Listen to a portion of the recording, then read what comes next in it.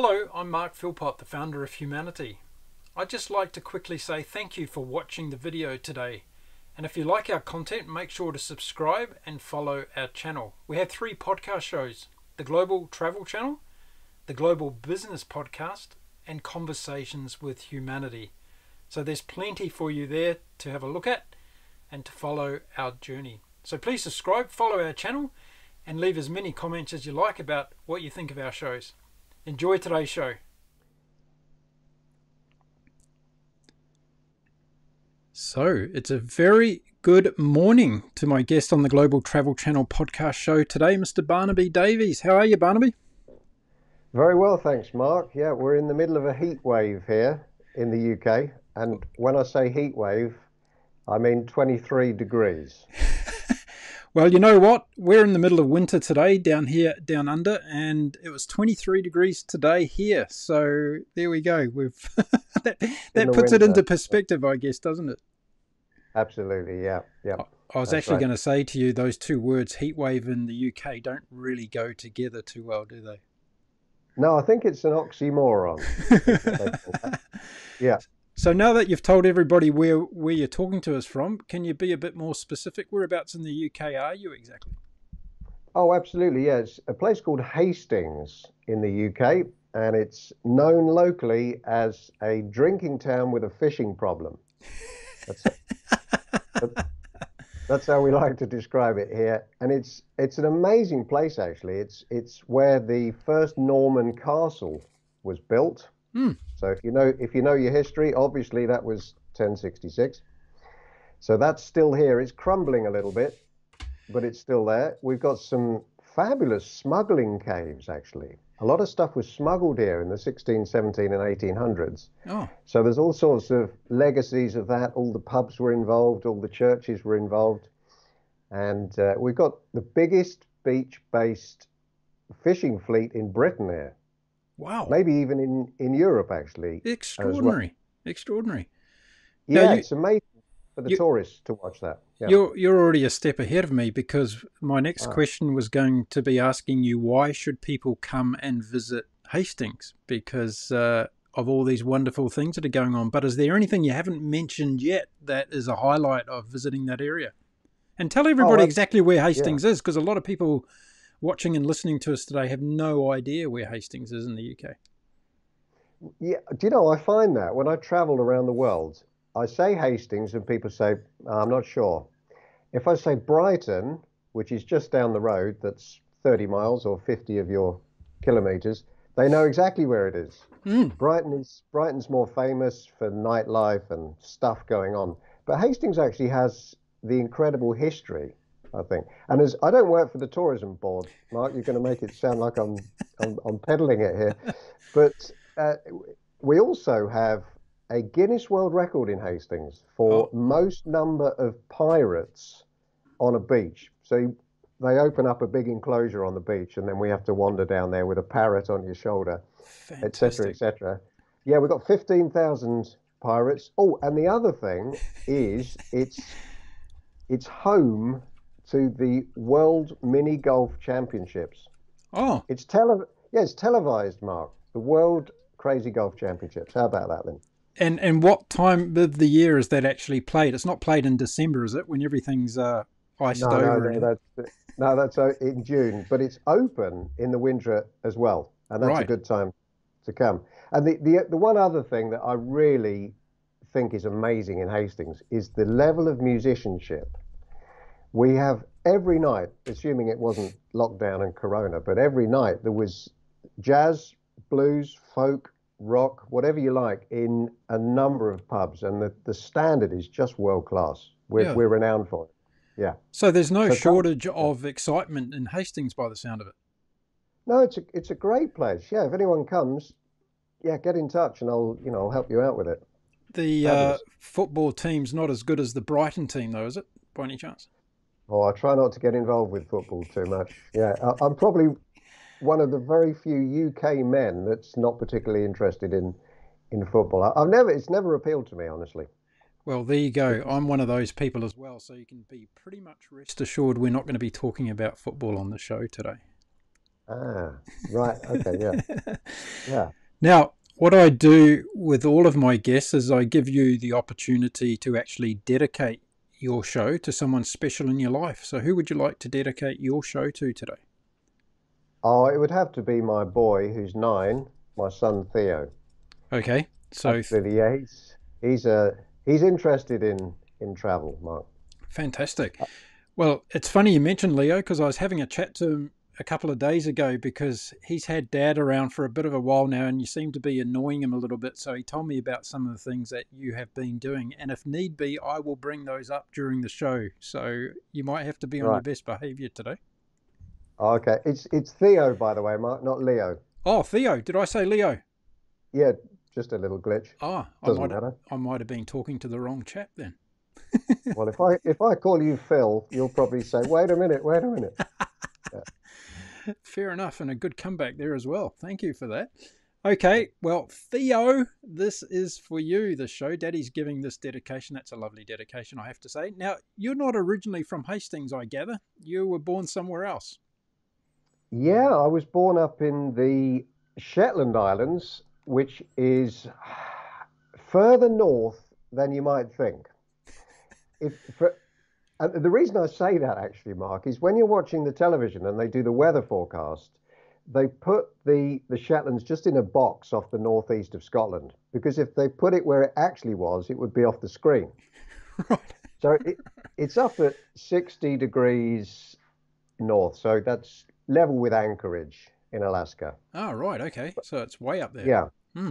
it's it's way up there. Yeah, and it, there are different ways of getting there. You can either go by boat, and it's 12 hours overnight from Aberdeen. It is. I've been on the ferry. There we are. And what do you reckon? The the ferry or the plane? They're, they're It's both a- dodgy. It's a horrendous ferry journey, and I would recommend it Yeah. to nobody. Yeah, it's it's it's it's one of those things. Like if you go, you've probably been to Antarctica. The the Drake Passage, you could get it smooth as a mill pond, and it's delicious, or it could be very very rough, and that's the same with with Shetland. But your other option is to fly, and who wants to be on one of those little Fokker 50s in a in a gale force eight? You know, so whichever way you go, you just want nice weather, and then it is a it's a it's a beautiful place, and I would definitely encourage people to go there as well. You, uh, the wildlife's amazing. You've got seals. Uh, you'll see seals on the rocks all the time. You've got little puffins. I've got a puffin on the back there, Right, you have. Yeah, I can see that. launching them, launching themselves off the cliffs. And you've got whales. There's Yep. lots of whale spotting going on there. And again, the music. You know, the little Shetland music uh, sessions in the bars is uh, that's a treat to behold, as I'm as I'm sure you found out. When you- when you uh, showed me that puffin, I was thinking it might have been the mayor of Lerwick. There, um, is, is is that who it is? Uh, Is it, is it a mascot for That's him? it. That's it. Yeah. He's uh, well. It, it is Scottish, as as you know, uh, but most people probably don't know that really the heritage is Norse. Mm. That's why we that's why we don't wear the skirts there. I mean the kilts. I have to be careful saying that. Yeah. But Well- the, they don't wear they Yeah. don't wear kilts Yeah, because it is is Norse heritage, but it was annexed by the the Scots in the late 1400s, I think. Yeah. and if and if I mention the word Zetland to you, you'll be familiar with that as well. And uh, there's lots Yep. to do.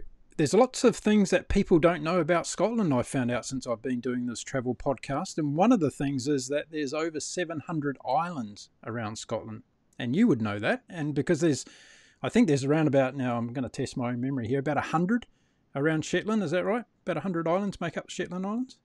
Yeah, not that many are inhabited. There's probably only a dozen that are inhabited. Mm. But again, it's it's bigger than you think, or that, that listeners might think, because it's 90 miles from top to bottom of Shetland. Right, right, okay. Is, uh, but there are there are parts of it where you can throw a stone between one side and the other, and other bits uh, other bits are much much fatter. And th- I, th- I suppose the thing that people notice up there is the lack of trees. Mm, mm.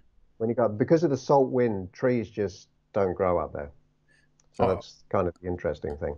I was going to say there's a lack of a, quite a few things up that way, but I wouldn't be Oh. so rude because it's your uh, your homeland. What was it like growing up there as a young boy? Well, in fairness, I only stayed there until I was two.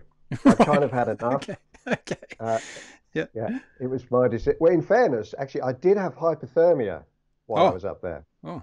Which was a little bit unfortunate. Uh, our our roof was not ideal. It wasn't in the best of conditions, and yeah, I kicked off all the blankets as a little baby, and did turn a, a purplish sort of color. So that was kind of my first bad travel experience, I guess. Yeah, So, being up there. so after two winters, you chose to get out of the place. That's it. Yeah, I said that. That's it. Where did you go to after you left the beautiful Shetland Islands? I came south to uh, a place called East Anglia to Norfolk, which is also a beautiful county. Mm. But I wasn't there for that long. Really, I've grown up in the south, in and around Hastings. Mm. And uh, yeah, one of the things I've, I've really found actually is that when we're when we're living somewhere, we always want to go somewhere else, don't we, as travelers? And I, I meet so many people who live in London, for example, who say, Oh, I've never been to that museum, or I've never been to that little walk on the, the Thames River. And this corona is actually giving me a, a, a chance, or all of us a chance, to actually explore our own backyard. Yeah, I love that you say that because I totally agree with you. And the whole fact that, you know, domestic tourism is booming in a lot of countries at the moment and people are seeing parts of their country for the first time. Um, you know, travel doesn't need to be, be getting about the passport out all the time and heading off somewhere overseas, does it? It can be.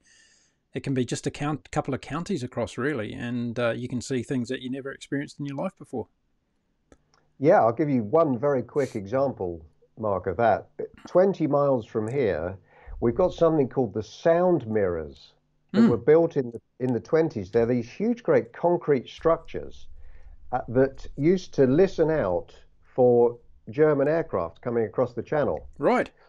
Great big, like 200 feet in diameter, listening devices Wow. that became they, they became obsolete because of radar and the, the planes were coming quicker, so then, then they couldn't pick them up in time. Yeah. But absolutely amazing, and they're still there. These decaying concrete structures, and I went to visit them just the other day, and they're they're so close, Hmm. but I'd never been there. So, And yeah, are real chance to connect. Are Yeah. they are they something that are attracting a lot of tourists? Like, is did you see there there was a lot of other people there while you were there? No, actually, uh, they are not a tourist attraction. You're supposed to go with a birding volunteer because it's on a little island and there's bird nests there. Hmm. This is incredible. If anybody wants to Google this, just put in sound mirrors in Kent, Yeah. and you'll be there. All, you'll be there all day looking at this. So I went down there, knowing that you couldn't go across. Right. But I met these met these youngsters who were looking a bit damp, as though they might have been swimming, and they said, "Oh, you can just wade across there." So I thought that sounds like an adventure. Went across, had a little look on this island, and came back. And literally, I just waded back across, and this guy in military fatigues with binocular came over and said, "Have you been on the island?" And I was dripping wet. I couldn't really say no. and he said, "Well, yeah, you're not supposed to go over there." I said, "Well, I was." I was very careful, and he was a mine of information. Yeah. so Yeah. just go and talk to people. You know, that's it's just such a it's a world full of opportunity, isn't it? Talking to people, finding stuff out. I love it. And it's a unique thing when you travel as well, because often you meet people where you're both out of your comfort zone, and there's that whole aspect of travel that connects you, right? And you're both exploring, and I guess you're a bit more vulnerable too, right? When you're traveling, so you have you have deeper conversations. I find. When was your first? And let's let's go past the two year old experience when you got out of the Shetlands, but when was your first meaningful overseas travel experience that you can remember deeply? Oh, there's a, oh goodness, there's a few of those, but it, it what is imprinted, I suppose, on my memory is going to France just on a day trip with my dad when I was seven or eight. He, mm. he took us over there. This was this big trip. There's another country. There's French people. Let's go. And I, what I remember most from that is him trying to speak French, Right. real, real pidgin French, but doing it with an English accent, which he thinks is charming. Right. Uh, uh, well, you know, when French people speak English, you think, oh, it just sounds so romantic and fabulous, doesn't it? Yeah, yeah. And I, I don't think speaking French in an English accent has quite the same appeal. But but there we are. Anyway, he made this absolutely absolute dog's breakfast of trying to order an ice cream, and Right. it was great. 'cause This, this guy just replied in English, and it turned out he was from Brighton. Right. But it, yeah, but it was wonderful watching my dad flounder uh, and try to try to speak French, and it, it was. That, I guess that was my my first first foreign travel experience. Yeah. So, as a seven-year-old, you must have really loved it in terms of not only the ice cream and, and you know taking the Mickey out of your father, but I guess in terms of going to a, a foreign land and seeing it for the first time, did it give you kind of a sense of I want to do more of this? I want to get out and explore the world. Oh, it absolutely did. Yeah, half of it for me is the journey. So I always have this sense of adventure when I go down to Dover, down to the, the boat there, get on a boat, and off I go somewhere. Mm. And I was very fortunate, I suppose, a little bit after that, in that I, I started playing a trombone at Oh. school Mm. when I was 12. Yeah. And very quickly, I joined a band, and then we started doing foreign trips. So one of my first foreign trips, I would have been 13, and off we went on tour to Belgium. Right.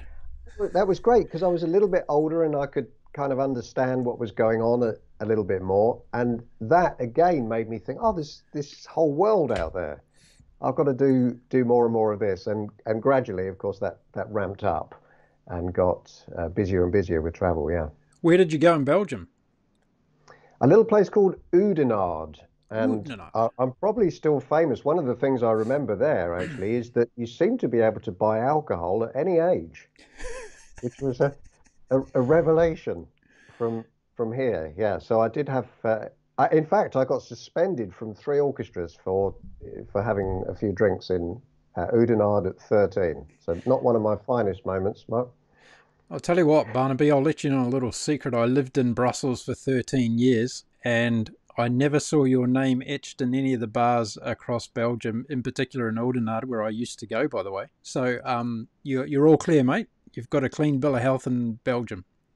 Fabulous, fabulous. Right, I'll I'll head back. Yeah. So tell us more about the uh, the travelling Wilburys. When the, was that the name of the band? Uh, No, that was actually the East Sussex Youth Orchestra. Oh, that I went over with then. Yeah, I, I travelled with a few bands actually, youth orchestras mainly, and I was very fortunate to get invited on all of these trips. You know, we we played in Berlin in 1990, right. went over there, so I was uh, won't say how old I was, but fairly young. Yeah. And and that of course that was amazing because you're there right after the Berlin Wall came down. Yeah, yeah, And, exactly. At that point, you know, people were still breaking bits off the wall. Yep. Uh, so it was, that's obviously not the right thing to do, but at the, at the time, people just were. And that, so, you know, I actually had a slice of history and I was experiencing what had actually happened. And, and I suppose that's when my curiosity and, and knowledge about the world started expanding a little bit more. When you start having an understanding of, of historical facts that hmm. have influenced current events. Yeah. So tell us, how did the trombone come into your life? What was the inspiration there? Well, that was serendipity. You know how sometimes things just come into your life? Yeah, never a trombone, I can tell you though. No, well, you've been, you've obviously been lucky. Yeah. I, I was on a, I'll tell you in a sec. I was on a on a tour once, and somebody said, "What's the definition of optimism?" And they said, "A trombone player with a business card." yeah. But what happened actually, Mark, is I was at school and I already played a little bit of piano. Yep. Yep. Uh, we had a piano in the house, and my mum's a, a keen piano player. Yep. And there I was at school, and the music teacher said, There's a trombone available with lessons. If anybody wants to have a go, then let me know. And for some reason, I just found myself, as I usually do, just saying yes to, to some sort of new experience. And actually, I took to it like a duck to water. Right. I loved I loved the the trombone, and then I progressed and I went through through the Royal College of Music, uh, etc. cetera, et cetera. You're lucky it wasn't chainsaw day at school. Absolutely, yeah. It could have been anything, couldn't it? Yeah. So, how long did you? Are you still playing the trombone? That should be the question. I am still playing. I took a break, Mark. I had some I had some problems at university or, or music college. I just couldn't quite get it right. Yeah. So I, I was never quite destined to be at the absolute top and on tour with the Tower of Power or the Grease musical or anything like that. Uh, so I put it away in the attic for about seven years when I was 20. Right. Okay. And I thought, right, I've had enough of that. I'll go off and do something else. And then I came back to it, and I still play today. And it's one of somebody asked me recently, when are you happiest?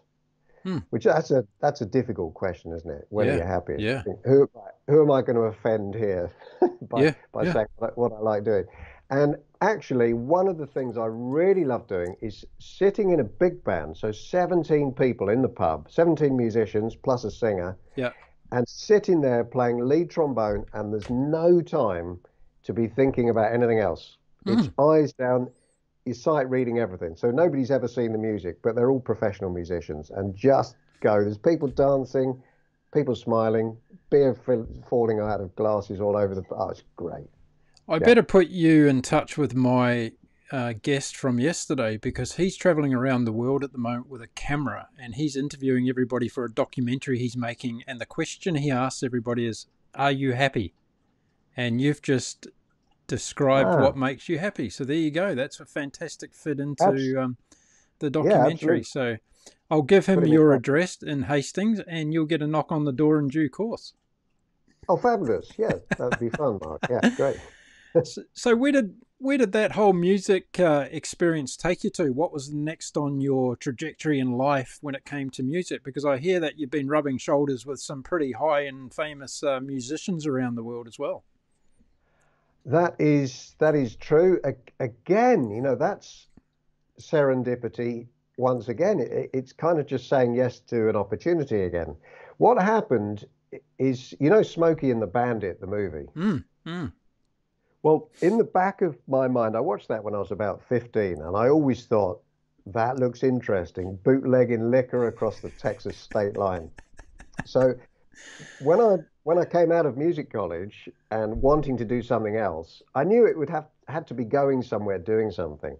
And so I got one of those big heavy goods trucking licenses.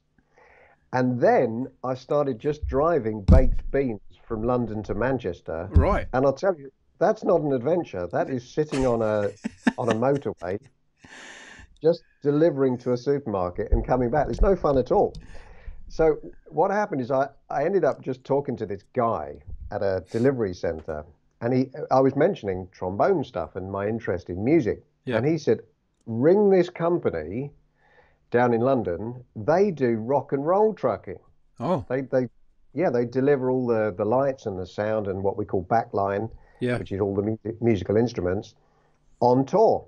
I Hmm. thought that sounds good. So this was in this was in 1998, Mark. The days where you'd and nobody had cell phones. You'd, you'd have to put things in a in a uh, coins in a box. so I rang this. Oh, so this is this is the key to the story really. This guy said, "Tell him you know Dave Smith." Okay. He's uh, he's he's key in the industry. He's just well known. Yeah. Right. So Notorious name, really, Dave Smith. Yeah. Dave yeah, it, Yeah. yeah. Yeah. So anyway, I, I rang this guy in London, the head of the company, and said, "Oh, Dave Smith told me to give you a call. Are you are you busy?" And it was great. The the lights went on, and he said, "Oh yeah, busy, busy. Yeah, what are you doing on Saturday?" I said, "I'm free. I'm free. What's happening?" And he said, "Well, I want you to fly to Italy, south of Italy, and be the second driver on a truck driving north up to up to Genoa." So this is what happened. I went down there, got in the truck, and he, he, called me while I was driving up through Italy, and he said, "You don't know Dave Smith, do you?" well, Busted. talk about busted. I mean, caught red-handed there, Mark. I said, "No," and it was great because he said, "Well, how are you getting on?" And I said, "I'm loving it. This is good." He said, "Well, all right then. Do you want to do the Beastie Boys tour when you get back?" Right. And that was it. So Straight to my the top. advice, my my hot tip, I think, is you have to be slightly cheeky to get ahead in life. I think, Yeah. and and my my philosophy, Mark, really is do whatever you like, as long as it doesn't hurt anybody. That's kind of what, how I live. So if you can get away with a, a little cheeky thing, I then proved myself in in the company and, and went on to drive for yeah some some big stars, I suppose. ACDC from Australia. Right, right. And uh, where did you go? Where did you go? So tell us about some of the places you ended up going around the world with uh, some of these gigs. Right. Well, because I was driving the big 18 wheel trucks, I didn't do the entire world tours. What I would do is within Europe. Okay. But that was still a long way. I mean, often we'd head down to Istanbul or out to Moscow. That's kind of five or six days drive uh, from from here. Mm. But all all over. And what really I noticed was nuts is that a lot of these tours are organised by American production companies. And I think they just get a dartboard of Europe. You know, like you guys probably think Europe's not very big. Australia's better than everything. Uh, and they, they, they throw a dart somewhere and it would, where's that? Istanbul. Let's do a gig there. It, I mean, I came out of, I'm just thinking, I came out of Athens once on an ACDC tour, and yep. the next show was in Lisbon. I mean, that's 38 hours driving a truck. plus a plus a ferry ride across from Patras to Ancona in Italy, Greece to Greece to Italy. I mean, that's a long way. That's a lot of diesel, and they do ten to the gallon these trucks, or nine to the gallon, really. Maybe that's where they were selling the most tickets, though.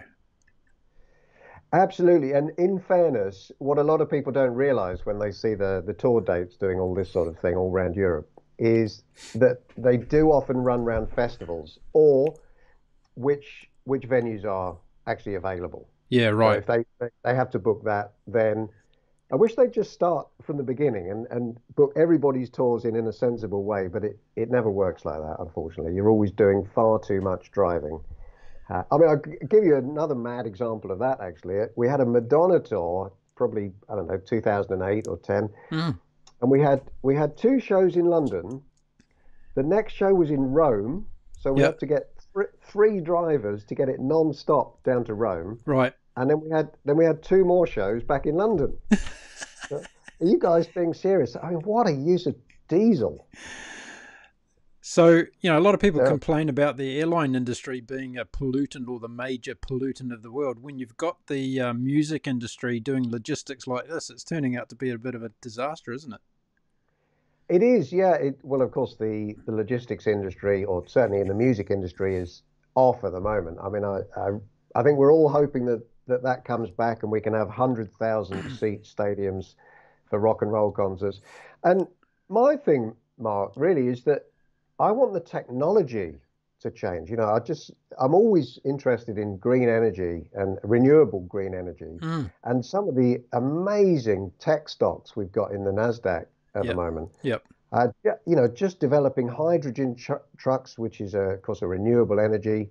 And what I'm waiting for is the airlines to be able to run on some sort of sustainable fuel. It, and it, has got to be coming, hasn't it? Yeah. It's got to be. I, am thinking though that most of the airlines are going to be out of business when Elon Musk has a spaceship going from London to Sydney.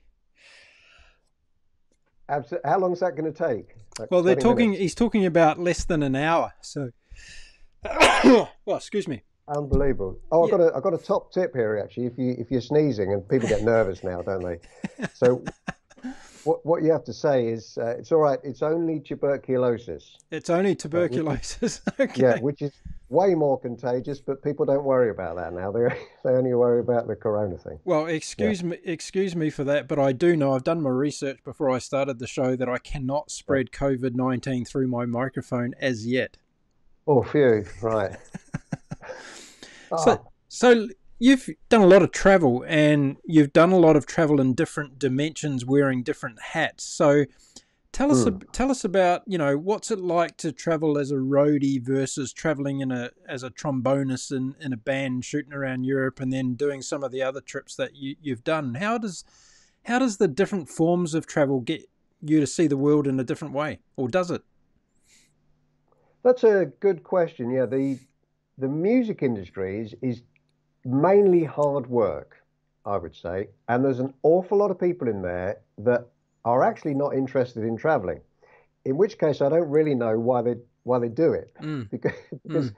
you are you're on the road all the time, and I mean, just off the top of my head, there are plenty of tours where you don't actually get to see very much because there's shows every day and they're a long way apart. So you, you're sleeping and then driving. And then there's other wonderful examples of. Uh, we had a U2 tour once, actually, the 360 tour, and they had rehearsals in Torino, Italy, Mm, mm. and we had 12 days there. Right. No, and if so, we're dictated as drivers by when the schedule, when the when the tours are. Yeah, So if- right, right. If you got four nights on a Tina Turner tour in in Antwerp, then you got a chance to have a good look round. If you got one night and then the next show's hundreds of miles away, uh, you'll get much less of a chance to explore. So often, I guess I would come back to a city and think, ah, now I've got the time to explore it. But this, you know, last time I didn't have very much time. But it, it's certainly not the same as properly having the time, you know, staying in a hostel, staying in a hotel, and doing a whole city tour. But the, the key for me actually was to have a bicycle. Mm. I always had a bicycle in the back of the truck. Mm, great idea. And so as soon, yeah, so, so as soon as I'd roll into a city, I'd just get in and, and off I go, which was the way, I think. And carbon free as well. You're getting around environmentally friendly. Carbon free, and you know, some sometimes we'd we'd turn up somewhere and people wouldn't even really know what the currency was. right. I mean, a, an example of that would be overnight Bucharest to Sofia. So you're Yeah. going from Romania over to Bulgaria. Bulgaria, yeah. Yeah, and we'd we'd turn up and nobody would know what the currency actually was, or if they did, what it was worth. Yeah. But if if you had a sandwich out of the catering truck and took your thermos flask, you could go off and cycle around and have a little look round and kind of figure stuff out before coming back. Yeah. So I'm sure everyone's dying for me to ask you if there was any um, up close and personal encounters with any of these celebrities that you were roading for. Was there any uh, hot gossip on Tina Turner in Belgium or U2 uh, Bono and all the guys uh, as you toured around? Well, we tend to keep different schedules actually. So the stars are in their dressing rooms Hmm. while while we're we're sleeping half the time, and they kind of disappear off the stage, and then we come and start loading trucks afterwards. So in terms of hanging out with Angus Young from ACDC or James Hetfield from Metallica, that just doesn't actually happen. I mean, Mm. you'll you'll you'll see them. You maybe see them in catering, and you may get chances to talk to them. But certainly with the smaller bands, there's a there's a girl here, a, a lady here called Gabrielle. She's she's quite famous for wearing a, an eye patch, Right. and that's a, a small little tour. It was maybe two trucks worth of stuff instead of 30 trucks Yeah. worth of equipment. Yeah. And she would say hi. She would say hi every day, Mm, mm.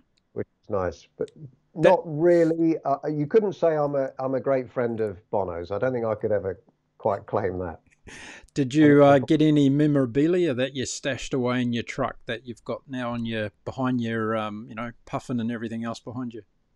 Oh well, I tell you know, I thought just in case you asked me that, Mark, this is this is the best thing I've ever got, right? So I'm gonna I'm gonna show you one thing on camera here. Okay, good. This arrived from JFK uh, Airport. I don't Oh. know whether you can see that. Yeah, yeah, yeah. Right, so it's um, all the tour dates of the magnetic tour down there, Wow. and a picture picture of the band. And here, they I don't know whether you can see that up close, but they've actually all signed it, and it's personalised. Wow, fantastic! Just hold it there. I'll put it on a, uh, a single screen. Now, could they actually still talk after doing all those gigs? Talk, yeah. Did they Yeah. have a voice left? Like that's a lot of gigs, isn't it? It is. I don't know how they do it, to be honest. No, it, that's what I was saying. I think it's incredible. Yeah, that's fantastic. Thank you for that. I've got a great shot. Everybody's seen it. So, do you want to Oh, auction yeah. that? Do you want to auction that off today? Is there any uh, price on it that you want to get rid of it? Well, it's only good if your name's Barnaby. so I don't know how many people we've got called Barnaby. I, I tell you what, there might be a guy out there called Dave Smith that wants to give you a, a bit of a bid Ah. for it. Oh, that's right. Yeah, I've got lots. I mean, I'll just show you a couple of other things here. here do Mark. do, You do get- so. Yeah, when you go on a, a tour, they give you like a, a little book here. yeah.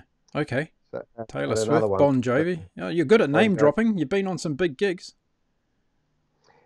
Well, it, yeah, it's not not about that, but the the the, the fans always they always want to get their hands on this because these books, this is the itinerary where the band are staying. Oh, So you're always you're always trying to get you know they get fans they hang around the trucks and say oh where's the band staying tonight I want to go and get an autograph uh, around there.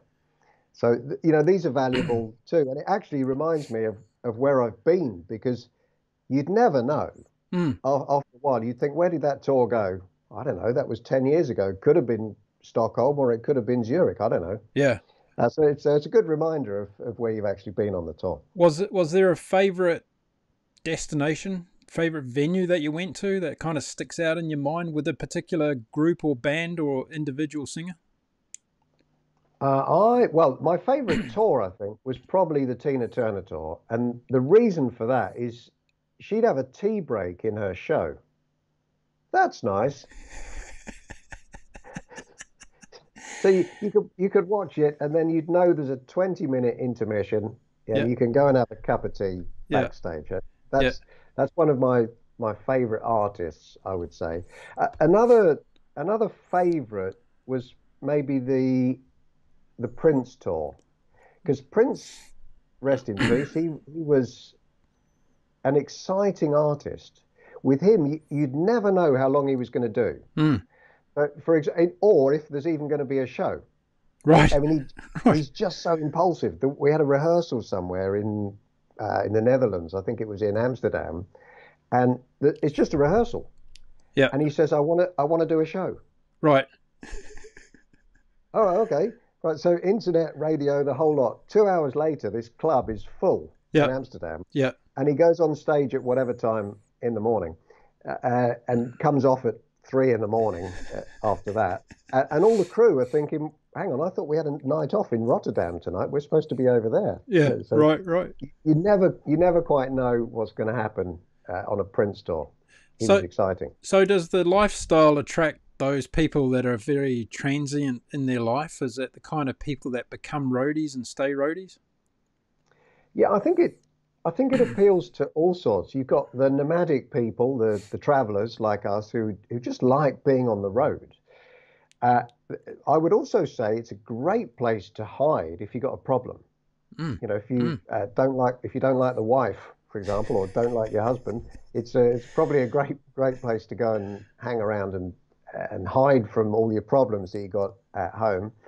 And also, there were a lot of musicians, budding musicians, uh, maybe failed guitar techs or failed trombone players, who you know who just just liked being around great music all the time. It dares me to ask the question: Did you ever get hypothermia when you were traveling as a roadie? Never had hypothermia. It, it, God, we had some cold weather though. That, I bet. The Mm. yeah, the, the generally touring is in the summer. Mm. So if anything, the problem is actually the heat. You know, down in Seville, trying to sleep in the day in Seville, and that's 40 degrees in July there. That's Yep. that's getting a bit warm. Yep. But no, we got a few snow snowstorms. Oh, I got my truck stuck once actually on an ACDC tour. Oh, That was that was minus 12. right. And it was so stupid. I, listen, I was about 45 minutes from the gig. We were going up to the, the Valle Hovin Stadium in, in Oslo. Yeah. And I thought, I'll just stop for a cup of coffee. And I, I drove up into this service station area and the, the truck got stuck. So I was thinking, oh, this is so embarrassing. my truck, my truck was the rigging truck, and Right. so the rigging has to go into the stadium Yeah. before anything else. So you can't put, you can't hang lights if you haven't got any rigging. Getting rigging, yeah. First. Mm. Oh no, so embarrassing. And amazingly, this a friend of mine, he's Namibian, and I thought, well, he won't know what to do. You don't get snow in Namibia. And he poured he poured hot water over the tires, and I thought, no, this is going to make it worse. That's going to turn it into ice. But amazingly, we moved forward, and I was out of there, and kind of kept that kept that quiet. Incredible. And you got a tip Yeah. from somebody from Africa on how to uh, defrost your truck. Unbelievable, yeah. so, how long were you a roadie for? When did you give that away? oh goodness, I did that. I ended up doing it for nearly 17 years, Right. on on and off.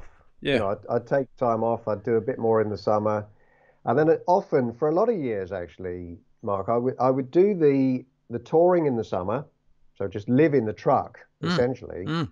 and then take the winters off, go and hang out in Tanzania or something for for three or four months Yep. while it's cold, Yep. and then oh Australia actually one year I went to Australia for Right. twelve months, which was Okay. interesting, So and then came back and did a bit more. it was a lifestyle where you could do for a certain period of the year and then just disappear to wherever else you wanted to go. Yeah, that sounds pretty good, doesn't it? Yeah, yeah, it sounds like ideal actually. Very much so. Now, something else I wanted to talk to you about today because it's not every day I have a Guinness World Record holder on my show. And I know that uh, you know, you did something well, I don't want to call it phenomenal until I've heard exactly what you did, but let's uh, let's go through that story. So so what what how did you come about to be a Guinness World Record holder? Well, this is a this is a funny story actually, and I have to say that it's all because of my mum. So big big shout out to the mums here. She she was reading a travel magazine, and Yeah. All, you know all those adventures I've had in Europe with uh, with the rock and roll bands. My mum just calls that messing around in Europe. right. So she's reading this travel article and and says, "How many capitals do you think you could travel round by public transport in 24 hours?" Mm. I thought, goodness, uh, seven maybe. Right. And so she says, "Oh, jolly good. The Guinness World Record is six. Off you go." yeah. So off I went, and I thought this is a this is a great opportunity, as well as uh, creating a, and beating a Guinness World Record, is to do something good here as well. So I raised funds to combat human trafficking and raised Mm. awareness of human trafficking because I hadn't realised, Mark, just how big that is. I mean, it's a global phenomenon, third biggest criminal activity, uh, according to the FBI in the world. Yeah. So it was a good cause, and and off I went, and I did manage all seven, Right. just. Right. Yeah. Now, I was gonna, I was gonna suggest that this um, came about from some, you know, drunken bet down at the pub. But now that your mum did it over, probably over a cup of tea, and talked to you about this, I have, I have other thoughts. So good on mum for uh, for suggesting this. Now, anybody out there who's trying to break a Guinness World Record, and believe me, there'll be somebody listening to the show that wants to do something to break a world record. Yeah. How do you go about it? How do you organize to get this officially ratified? Uh, it's actually much simpler than you you might think. You literally just go just Google how to do a Guinness World Record, and you get in touch with the Guinness team, and they actually send you some pretty stringent regulations on what you can do and what you can't do. And with my record, actually, there was a little bit of back and forth because they said you need a witness for the entire event, but you have to do the entire event alone. there you go. Well, that's not going to work. So they were they were different paragraphs. So we had to kind of talk about that, and we got round it by having a stopwatch, et cetera, et cetera. But for, yeah, for anybody wanting to to do a Guinness World Record, really the thing to do is go and see what the records are already, Yep. and and then submit your challenge, what you want to do, and they'll tell you what the rules are in order to do that. I mean, there's some there's some ridiculous records out there, Mark. I gave a speech about this recently, and, and just two two things spring to mind. One was the highest number of candles extinguished by farts is five. I've got a lot of friends I reckon could beat that. And and, and the other one, that- which is just absurd as well, is this guy, uh, Mr. Eat It All, uh, Monsieur Mange Tout in, in France, and he ate an entire Cessna airplane. so what I would say to anybody out there, if you think you could eat two, by all means, go and apply for for that. But it's it's much easier to do. And what I would say is is also think about why you're why you're doing it. It's yeah, it's nice to be a Guinness World Record holder, and they send you a certificate saying that you're officially amazing. But it's it's really nice if you can highlight a cause. So you know what's what's your cause, what are you doing it for, and and then you're going to get more publicity as well. Anyway, yeah. I think your mum deserves one because obviously she was sitting at home reading the Guinness World Record book to come up with an idea for you to get rid of you out of the house or the country or something. And uh, she she Yeah. picked. Why did she pick that one specifically? Because it was travel and she knew that you'd be into it, or what? Yeah, absolutely. Yeah, she she just read this and put two and two together. You know how sometimes you read something and you think of somebody else? Yeah, yeah. She, she read that and thought, "Oh, that's interesting. The Guinness World Record for public scheduled transport for the most number of cities in 24 hours is six. And immediately she thought, "Well, Barnaby could probably do that. He, I think he could do seven.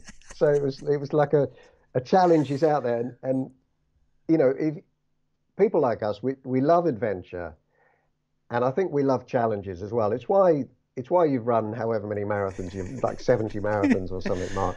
Yeah. Or, or and it's why if I see if I see a mountain, there are people out there, aren't there, that that think, oh, that's nice. I'll sit in the car and drink a flask of tea. That's just nice scenery. Whereas probably people like you and me, and hopefully lots of the listeners will think, I've got to go up that. Exactly. Uh, Yes. There's just something in us, isn't there? There's a, a challenge and an adventure. Yeah. Now I can't let you go on without telling us what cities you actually went to. Where where did you um, go to break this record? Ah, right. That started in London. So you can, where you start, you can count as one. So Mhm. everybody should be able to get one. Right. And then I took the took the train over to Paris. hmm That went kind of all right. Although in hindsight, I was upgraded by the chef de train, and he, he gave me a, a bottle of wine and a three course meal. And I thought, actually, looking back, that was a bit foolish, wasn't it? A bottle Yeah. of wine at the beginning of a Guinness World Record. But Yeah. uh, but never mind. Then it nearly went wrong in Paris because the the trains were cancelled. Mm. So the the next one was looking very tight Yep. to get to Brussels. So Brussels was number three. Yeah. And the, the thing with this whole record is that it doesn't matter whether the first leg goes wrong or the last leg.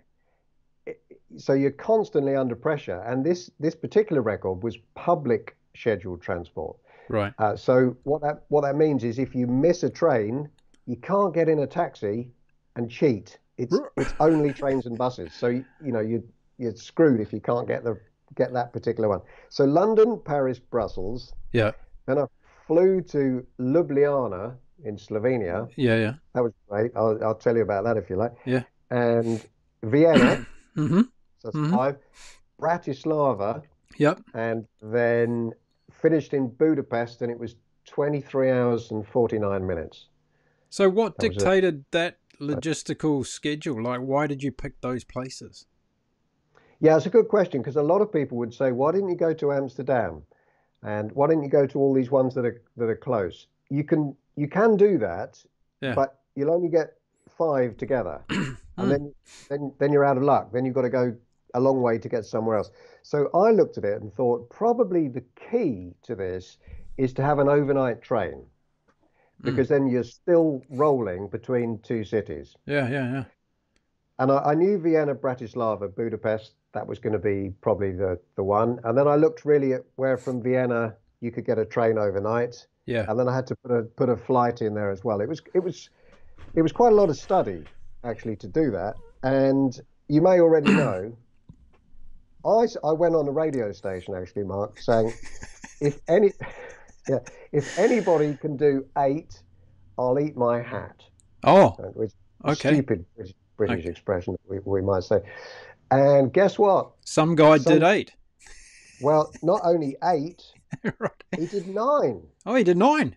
Okay. Yeah, he did nine. So he, see, but he didn't stop for a latte and build in a little bit of time in each station. He Right. was literally getting off one train and maybe three minutes later another one's going. Where I've always kind of worked on worst case scenario. I'm always thinking, well, this is a this is a Slovenian train. This is a British train. Mm. That's going to be late. sure. Of course, it's going to be late. Mm, mm. So I'm not going to. It's not like Swiss trains. So I'm going to build in a margin of error. But these guys didn't, and good luck to them. Yeah, I mean, kudos to them. They two guys did it, two guys together, and they did nine capitals in 24 hours by public transport. How long did you hold your record for? Oh, about a year. Okay. I think, yeah. Now, have you already got plans afoot to go and try and get it back, or what? I'm sure you're the competitive guy that doesn't like to lose his Guinness World Record uh, status. Well, ha- having gone on record saying eight, I don't think you can do eight. Uh, I I just don't think you can do ten. Mm. I'd have to pick another record, actually, Mark. Okay. I'm going to run. I don't know. I'm going to run seventy marathons. You're going to run seventy marathons. Okay. Okay. Yeah. Good luck on that one. Now, yeah, I, I want to throw it out there to the audience right now. I'm going to look look at you all down in that camera and just say that um, let's see if there's someone out there that can do 10 cities in 24 hours. And if you can, report back to the show because Barnaby wants to know. Because he said, What are you going to put up, Barnaby, if someone does 10 cities in 24 hours? Have you got a piece of memorabilia perhaps from your roadie day that you could give away on the show? Oh, that's an idea. Yeah, I've got half a dozen ACDC plectrums. Yeah, oh. we could we could give a couple of those away, couldn't we? Okay, so if you're out there, and thank you for that, Barnaby, I'll put you on the spot with that one. But if you're out there, um, go and try and get to ten cities, capital cities. They have to be Barnaby, correct? Ten capital cities. Cap- capital cities. Yep. Yep. In uh, in less than 24 hours, and uh, Barnaby's going to give you some Metallica memorabilia that you can probably auction off on eBay for lots and lots of money. So there we go. Hang on a minute, they they shouldn't auction it off. They should have it as a as a reward. Yeah. The, I'm I'm one sure. of them, the, the only place you could do it is definitely Europe. Mm. You couldn't do it anywhere else. Mm. That's number one. And actually, I made a bit of a mistake there. My first proposal included Zurich. Oh, okay. Yeah, and of course, Zurich is not the capital of Switzerland. It's not. I co- mm. completely forgot. It is, in fact, Bern, which most people don't seem to know. So yep. I made a mistake as a travel expert in my first proposal. Whoops. Yeah. I wanted to touch for a minute on the more serious side of the human trafficking experience and, and how that was the major cause behind um, your fundraising efforts, which I applaud you for. Some, something else I read that came out of that was a course that was developed for tour guides in terms of creating greater awareness around that. Can you talk to us about that for a second? Oh, absolutely. Yeah. Uh, the the whole human trafficking had such an impact on me. Just that I was wowed that it didn't slavery didn't end in 1888. It's still going on in 2020 and something like 25 million people are enslaved today, which is just incredible to me. And I felt after learning about this in San Francisco with a, a tour director training school that I would put together a course, and actually they added to the course, and it's now available. It's to just be aware what you can do to prevent it. If you spot it, keep yourself safe. How to report it, uh, the statistics involved, and that's uh, if I'm allowed to do a quick plug there, Mark. It's it's eastguideswesttraining.com yep. slash shop. Yeah, if we brilliant. can put that in the, the notes. It's a free course. Uh, yeah. It's in it's in our shop, but it's it's such a I think it's such an important thing just to be aware that this is going on using the same tourism infrastructure that that tourists and tour directors and tour operators are using at the same time. Yeah.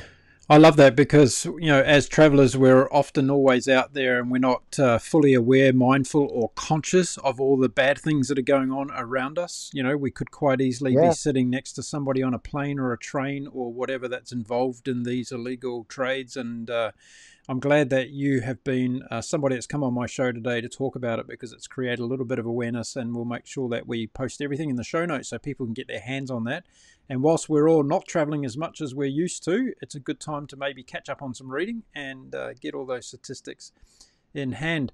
Barnaby, we're rushing through our time and it's great talking to you. I wanted to know more, though, before we finish up today about the impact that travel has had on your life as a human being. What what do you reckon would have happened if you'd stayed back on the Shetland Islands when you were two years old and you got a job as a as a fisherman and you stayed there for your entire life versus the exposure that you've had to all different parts of the world? What what's that given to you in your life today? Well, I suppose you don't know what you don't know. And sometimes I'm actually envious of people who, who don't go anywhere and don't want to know anything about the world. They seem very happy in their in their little bubble. But if you actually want to be a bigger person, you've got to travel, haven't you? And I suppose I've learned that that people are the same. Not when I say the same, I just mean we all want the same things. I mean, 99% people are good people, no matter which country you go to. Mm. And a, a, great example of that for me would be going to Iran. Mm-hmm. And if you if, if you say to per if you say Persia to, to most people, they'll say, "Oh, that yeah, that sounds all right." As soon as you say Iran, they go, "Whoa, that sounds dangerous." You know, they're, they're reading the the headline news. But I had just the best time in Iran last year. The mm. hospitality and the the people there are so warm and friendly, and it's not dangerous. No, no, and the it's scenery just, as well. Yeah. The scenery in Iran is uh, phenomenal, and it's you know as you, as oh. you just said, a lot of people don't know much about the country at all, and it's not until you've been there that it blows your breath away. Really, it's spectacular. Yeah, I think everybody should be forced to travel. Mm. Mark, it, presume assuming that they fix the the technology and we're not all creating a massive carbon footprint, uh, because I think it it promotes tolerance and it promotes respect amongst cultures, and and that's really actually that's why I started a company training tour guides uh, to promote that respect and uh, peace and you have fostering respect for other cultures because I see it all the time, and it's the fear of the unknown. I think, isn't it? You know, yeah, we've got yeah. we've got this Black Lives Matter thing at the moment. Well, of course, of course, Black Lives Matter. Of course, all lives matter, and it's the people that that message doesn't go to that I'd love to see it go to. Mm, mm. That, that's how you do that. I don't know. Yeah, that's a wonderful uh, summarization of what travel's meant meant to you in your life. How is the fact that you can't travel at the moment? How's that impacting you? Somebody that's used to being out there and uh, you know have passport, will travel. What's uh, what's it doing to you psychologically yeah. at the moment? Well, I've got three passports can travel actually, Mark. right. That's that's not bad, is it? Yeah. okay. I recently found out I could be a European citizen because my mother was born in Dublin.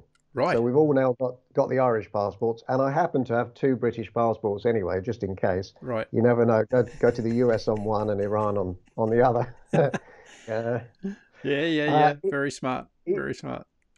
I'll, I'll tell you, when the lockdown first happened, I thought, oh, well, it, I was actually I was supposed to be in Baku, Azerbaijan. Mm. I've got some friend, friends down there. I was I was going to be down there, and initially I was frustrated, thinking, I don't stay at home. This is not what I do. I rent my house out, usually on Airbnb. I'm always away somewhere, and this is a problem. So I spent a little bit of time wrestling with that, and now I've made peace with that, and think this is this is not here forever we're temporarily restricted. And actually, as, as I said at the beginning, this is a chance for adventures in your own backyard. Mm. Mm. Yeah. So it's I'm all right with it. Yeah. Good.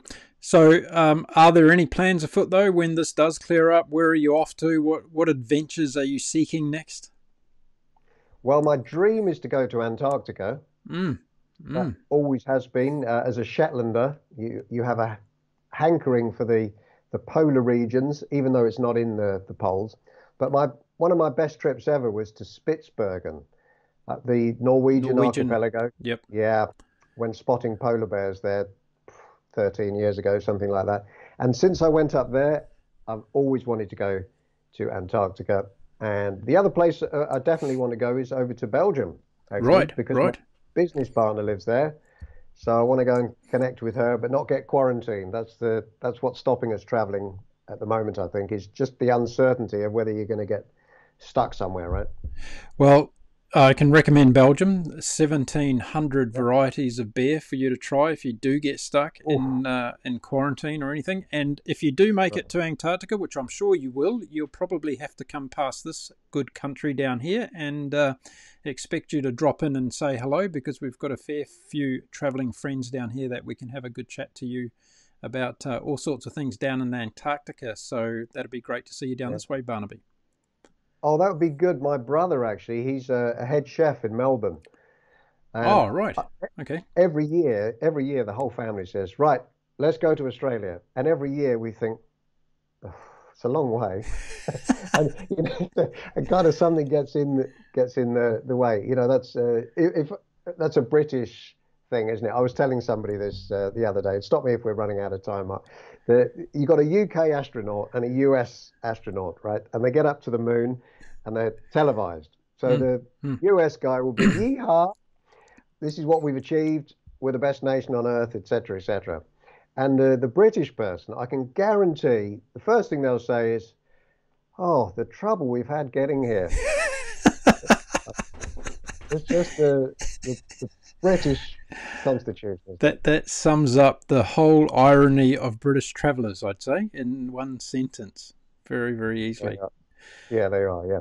Barnaby, it's been fantastic fun having you on the Global Travel Channel podcast show today. Thank you very much for joining me. I'm going to have to get you back again sometime in the future because there's so many things that I haven't even asked you today that I wanted to go over with you, but we'll get you back sure. and have a chat. Yeah. And uh, thanks for joining us from Hastings and telling us about why everybody should come to Hastings. I'm sure the tourism board will love you for that. And also, the place is going to be flooded after we can all travel again. We'll be coming to Hastings. Oh, well, looking forward to having you and everybody. I'm a big fan of the show, Mark. You're doing a great job. I love it. Brilliant. Thanks, and we'll see you again, Barnaby.